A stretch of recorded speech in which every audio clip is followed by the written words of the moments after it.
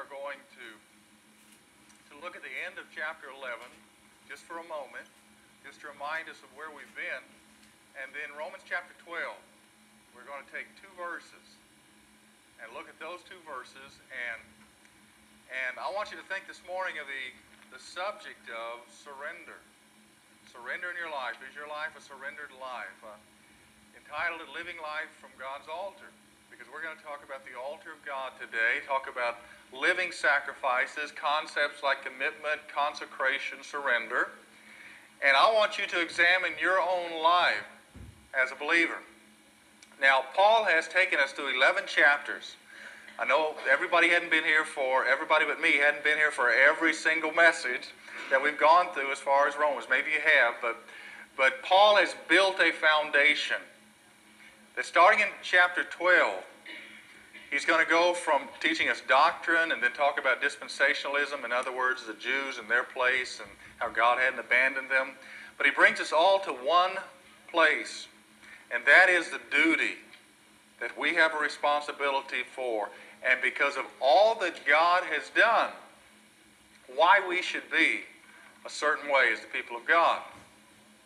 There's a one, one of our favorite hymns is probably When I Survey the Wondrous Cross. When I get a true glimpse of God, love so amazing, so divine, demands my soul, my life, my all. You know, that's the same idea that Paul is, is bringing us to at the end of chapter 11. A couple of things that he says at the end of chapter 11, verse 33 and 36. Oh, the depths and riches both of the wisdom and knowledge of God. How unsearchable are his judgments and unfathomable his ways. And then verse 36 For from him and through him and to him are all things. To him be the glory forever. Amen. That's Paul summing up the first 11 books of Romans.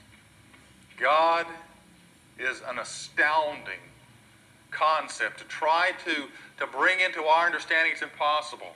It overwhelms us, the depths and the riches of who God truly is. And we recognize that from him and through him and to him come all things. To him be the glory forevermore. When you get a glimpse of God like that, then you are ready for what chapter 12 begins to introduce us to. And that is to surrender your life, to give God 100% of who you are. Paul says, therefore, because of everything that's gone on before, therefore I urge you, brethren, I urge you, brethren, to make your lives a living and holy sacrifice to God, acceptable to God, which is your spiritual service of worship. He tells us not to be conformed to this world, but be transformed by the renewing of our mind, that we might prove what the will of God is, that which is good and acceptable and perfect. A tremendous display of what it means to surrender your life. I'm going to share with you three things this morning about what God is asking of us, each one of us, with regard to surrendering our lives.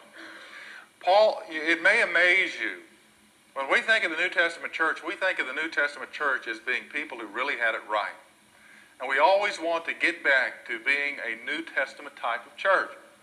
But you know, Paul says here, I urge you, brethren. That tells me that there were actually people in Paul's day who professed to be Christians that lived unsurrendered lives.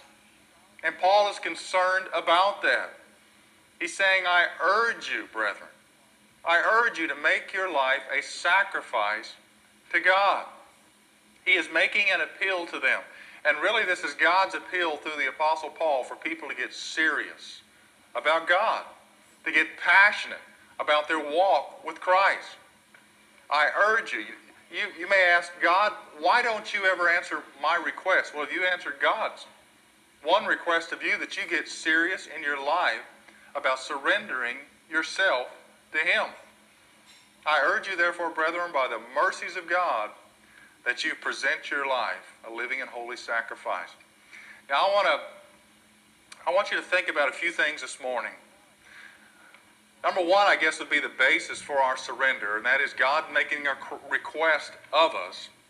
But also, God has a reason to expect that request to be honored. By the mercies of God, by the mercies of God. Have you ever, Anybody that ever argues as to why God has a right to expect surrender out of their life does not understand the mercies of God.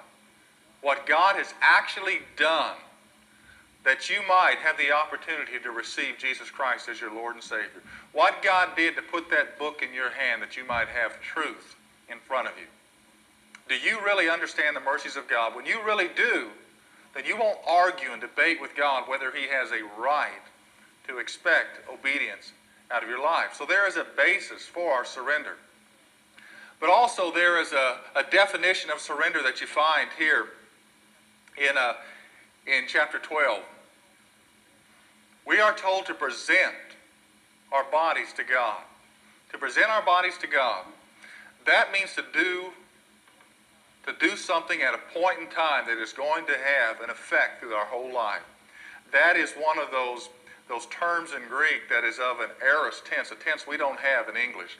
It means that you do something at a point in time, and it is past action, but it continues to have an effect throughout your whole life.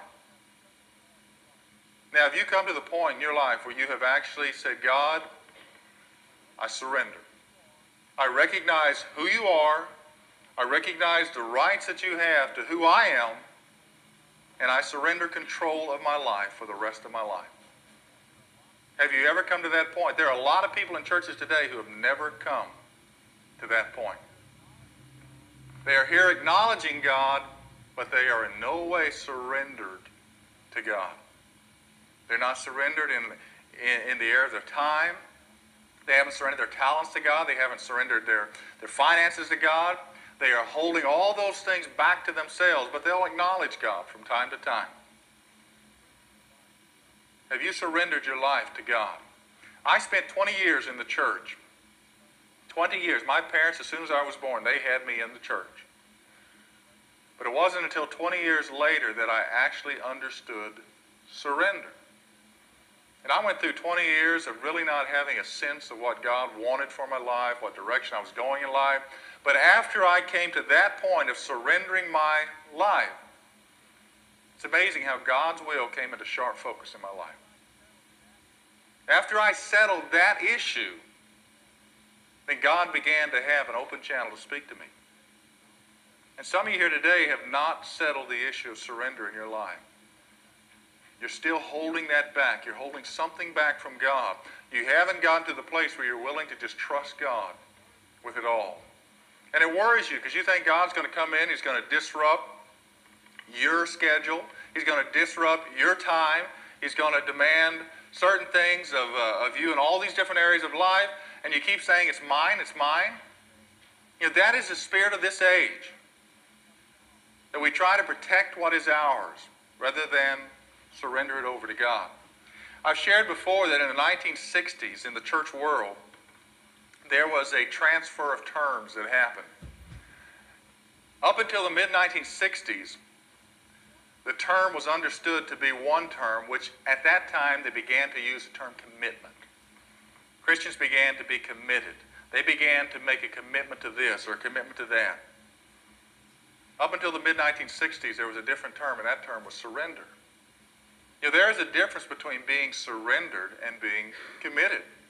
You can commit certain things to God. God, I commit to be in church so many times this year. God, I commit a certain amount of my finances to you. We can make commitments and yet not be surrendered. Commitment touches little parts of us. Surrender says, God, it's all yours. It affects everything about us. And Paul is saying we need to present ourselves to God as living and holy sacrifices. Present our bodies. Three ways he puts it. Number one, we present our bodies. Number two, we present our mind. And number three, we present our will to God. First, he says our bodies. Present your bodies a living and holy sacrifice to God. When I think of my, my body, I think of it in two ways. Number one, I think, God, why do you want my body? I think of my body as being weak. I think it, it is being susceptible to temptation. I think of it as uh, having a lot of flaws. But it tells me that God is saying, Come to me just like you are. The person that you are. Come to me and bring that as a sacrifice to me. But the second thing that I think of when I think about my body is my body encases everything about me. It encases my actions, my deeds, my thoughts, my goals, my motives, my attitudes. All of that is to go on the altar. I become in my body a living and holy sacrifice to God, to be offered up to God Himself. Now, if you notice, He described it two ways. Your body is to be a living sacrifice and a holy sacrifice. What do you think of when you think of your body being a living sacrifice? You know, a lot of people say, God, I'm willing to give you the ultimate sacrifice, which is death. But actually, the ultimate sacrifice is life. For you to live 24 hours a day surrendered to God. You know, that to me is the most difficult challenge on this earth. It's not just facing the, uh, the executioner because your refusal to recount Christ. You know, that is so difficult and that is amazing. But for a person to live 24 hours a day, surrendered to God as a living sacrifice, that is what God asks us. To be living and to be holy, to be set apart for the purposes of God. That means that my life has charted a course toward holiness, toward what is acceptable and pleasing to God. Is your life a sacrifice to God? Is it a living sacrifice? Is it a holy sacrifice? Are you seeking God's righteousness, hungering and thirsting for the righteousness of God? Paul says we're to present our bodies as a living and holy sacrifice. There was a man named uh, uh, General Booth who was the, the guy who started the Salvation Army. He was asked by an evangelist one day why God had used his life in such a, such a tremendous way. And his response was, you know, there are people, people who have better minds than I've got. There are people who have more talents than I have. There are people who have more resources than I've got. But God has gotten all of me that there is. God has gotten all of me that there is. Is that something you could say? You may not have all the talents in the world, all the resources in the world. You may not be the smartest person in the world. But who you are, God has gotten 100% of it. The problem with a living sacrifice is it always wants to get off the altar. And people will have moments or times or seasons of commitment, but they like to get back off the altar because it's not comfortable to be on God's altar. The uh, altar that they would use, that Paul during Paul's time, the kind of altar they would use, would have two hooks on it. These would be called flesh hooks. And they would put the altar, the sacrifice on the altar, then they would use these flesh hooks to, to bind the, the sacrifice down.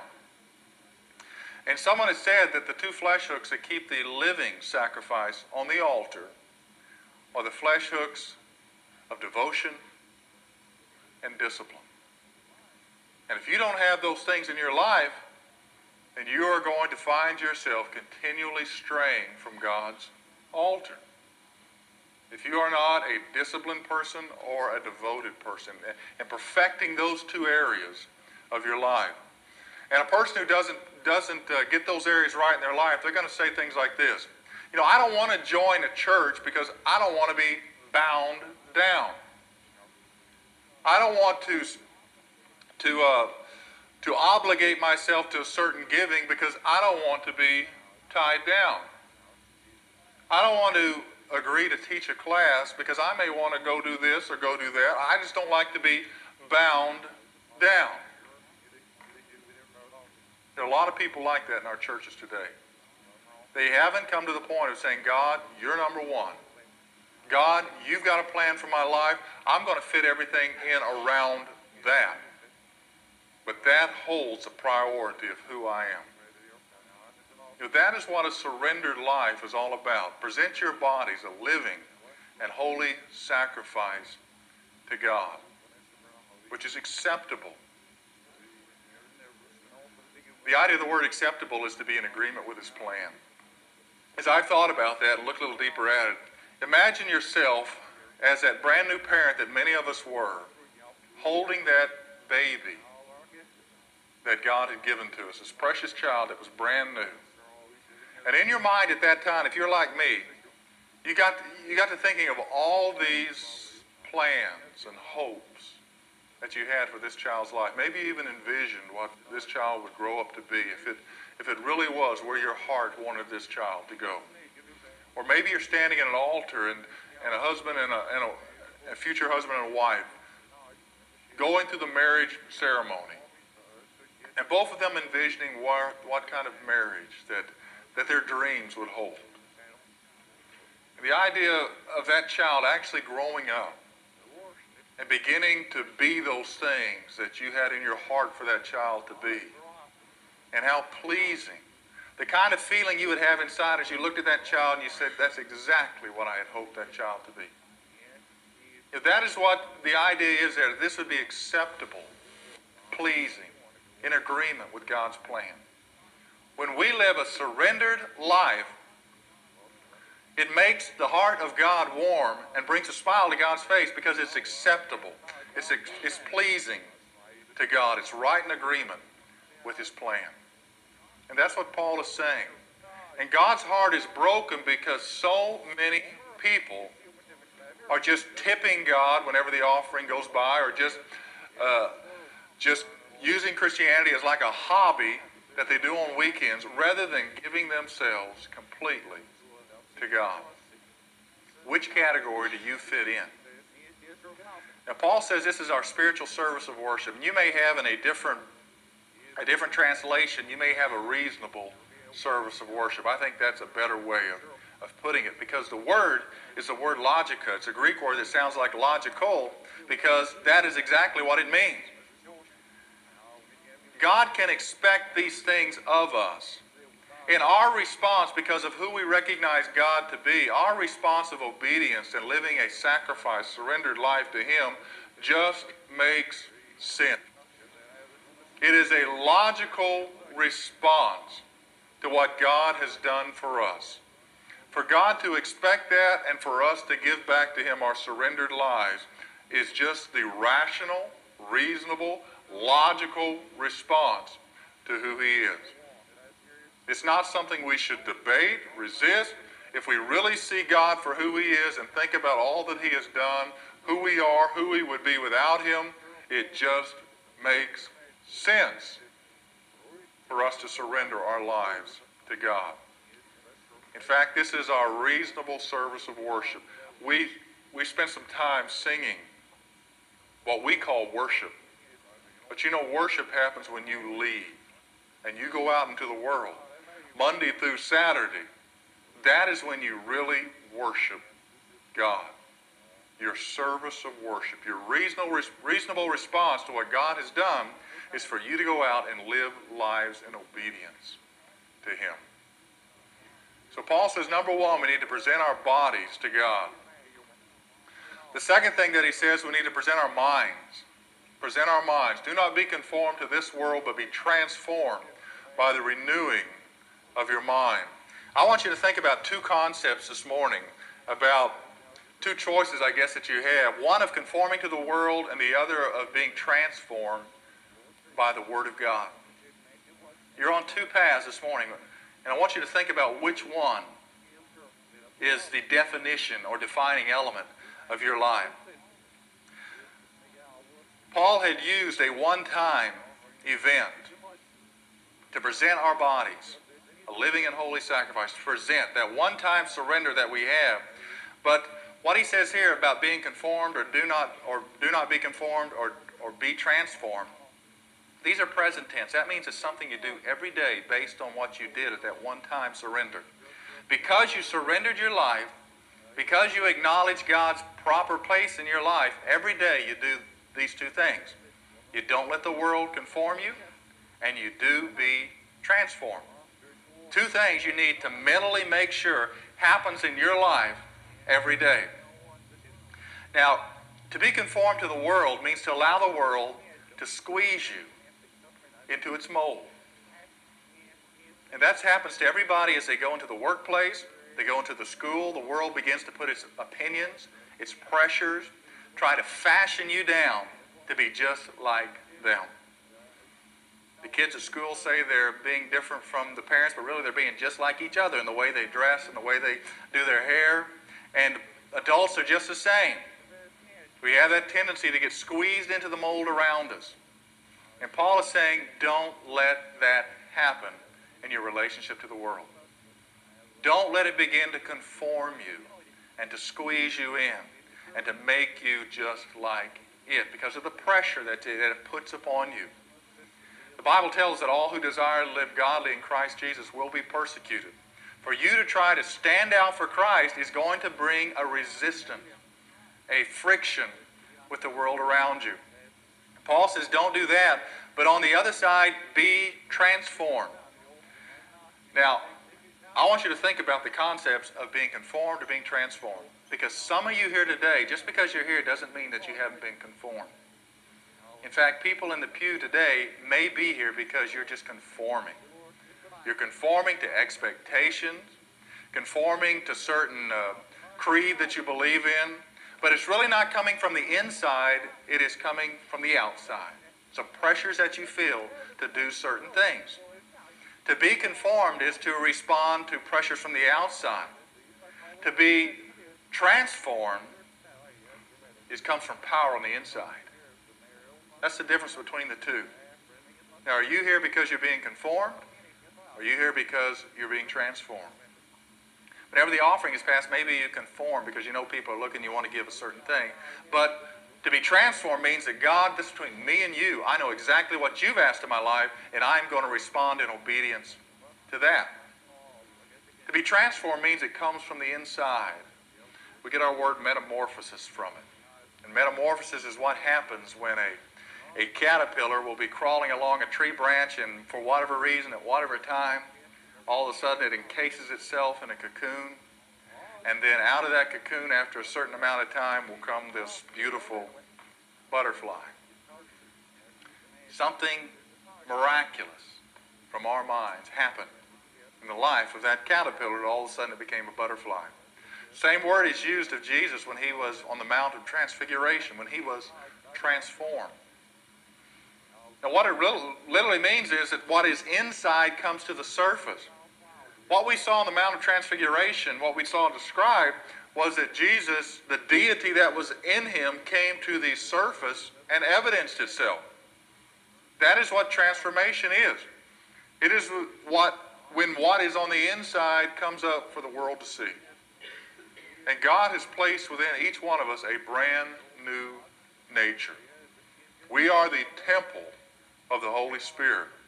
There is something that, that has happened inside of us that the Bible describes as we have become new creatures in Christ.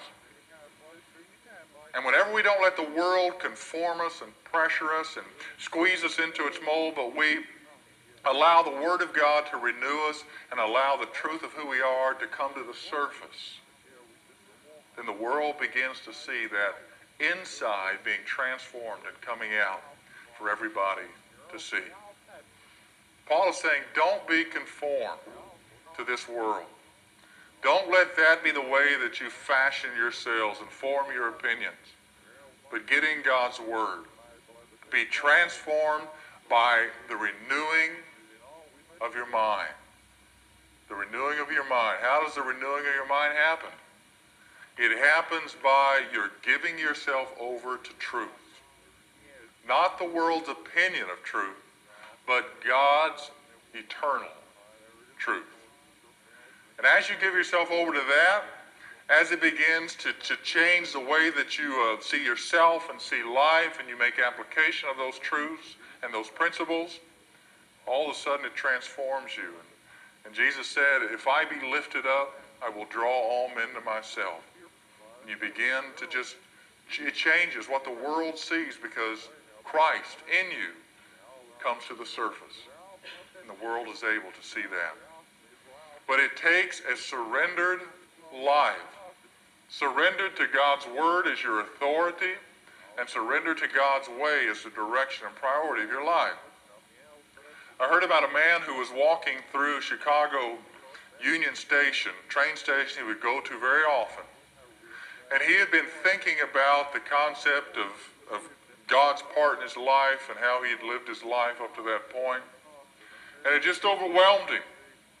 And he stopped in the middle of this train station, took his shoe and made a mark on the, on the floor in front of him, stepped on that mark, and said, God, right here, right now, I surrender my life to you. I recognize you're right to everything about me. I recognize who you are and who I am, and I surrender my life, every part of it, my future, my, uh, my goals, where you want to take me from this point on in life, it's your call. And then he went on. And every day, or every time that he would come back to that train station, he would come to that mark again. And he would stop at that mark, and it would remind him of who he was, of who what his relationship to God truly, truly meant and what it was. Do you have a place like that in your life? Where you have made peace with God's agenda for you. Stop resisting God and saying, God, I belong to you. I have been bought with a price. I am no longer my own. You are to call the shots in my life, and I'm reminded of that. You need things in your life that remind you, bring you back to that kind of truth and understanding in your life. We are to present our bodies. We are to present our minds as well. And finally, let me quickly share with you, we are to present our wills to God. The last part of, of verse 2, so that you may prove the will of God, that which is good and acceptable and perfect. Good and acceptable and perfect. Your life can become a proving ground for God's handiwork. People can begin to look at you, to look at how you're living your life as you surrender to God and God has come to the surface in you as you are transformed by the renewing of your mind. The world can see you as a proof of what it really means to live for God. They can look at your family. They can look at your marriage. They can look at you personally and they can get a glimpse of what it really means to be a person that God is using that has surrendered their life and their home to God. That threefold description that you find there, the description of it being good and acceptable and perfect, those are not adjectives. Those are what the, the Bible calls substantives. That means they're nouns. That means that when you prove, you're proving literally what is good. You're proving what is perfect or what is complete. You're proving what is acceptable or what is pleasing to God. People can look at your life and see a definition of goodness, a definition of what of acceptability from God's vantage point. They can see a definition of what God meant a person to be in the sense of being perfect or complete before God. Your life has everything, all the elements that God designed to be in the life of a person. But that doesn't just happen. That happens when we surrender our lives to God. You know, worship is getting up on the altar and letting God consume you. Letting God consume you. That means God consume every part of who I am. It is all yours. It's all to be consumed by who you are. You know, is that something that you have done in your life? Consecration is not giving God anything. Consecration is taking your hands off of what already belongs to God. It's recognizing what really God owns, letting it go, trusting it to God. There's a businessman I heard about who was sitting down trying to make a list about why he would stay at a particular job. And he tried to make a list of, of what the benefits of this job were. And he wrote down things like the salary, the, uh, the prestige that working for this particular company would bring him, he wrote down the, uh, opportunities for advancement that were at this particular place. He wrote down that he, he liked his job. It was something that was pleasing to him. And after he got this list made, he got to thinking, you know, this is a human list. Just about anybody would make up a list like this. So he tried to refocus his mind and think, what would God's list be? And he started to write down things like, that person at the desk next to me, they need a witness in their life. In fact, this whole company needs a witness for God in it. There are people in this company who have problems. They need God's answers to those problems in their life. This company allows me to have resources where I can give back to God's work. And he got the two lists written out, and he looked at one, he looked at the other, and he said, You know, this list really doesn't even begin to compare to this one. But you know what? Most people are living off that first list. When they go to work, that's the reason they're there. Why God wants you there, when you surrender your life, will begin to work off that second list. When you recognize a surrendered life lives off of those things as priorities. That is why God has put you here. That is why God has left you here. And that, uh, that, those are the things that, that are the purposes of God in your life. Are you a surrendered person to God? Not that are you committed. Are you a surrendered person? You know, God spoke and said in Isaiah's time, Who shall we send? And who will go for us? And Isaiah spoke up and said, Here I am. Send me. Now, Isaiah stood alone. But Isaiah was a mouthpiece of God in his time. He surrendered his life to God. And God used him in a tremendous way. He wasn't the smartest man in his day, but God used him in a powerful way that we remember to today because he surrendered his life. Where do you want your life to go? I don't know how many years you've got left, but are those years worth placing in God's hands and saying, God, you hold the title deed to, to my life. I give it all to you. Take it, use it. Make me the kind of person you want me to be. Use me in the ways you want to use me. But God, I'm not just going to fool myself by saying I commit this or I commit that. But God, today, this mark in my life, I remember this day as the day I surrendered it all. I took my hands off of it and gave you my life.